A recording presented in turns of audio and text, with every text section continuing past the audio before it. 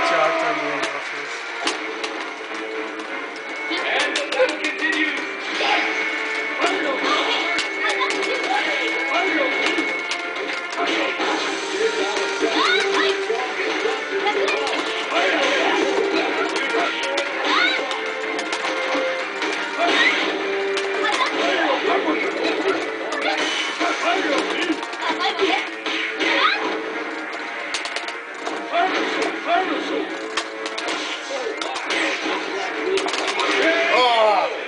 To do that again.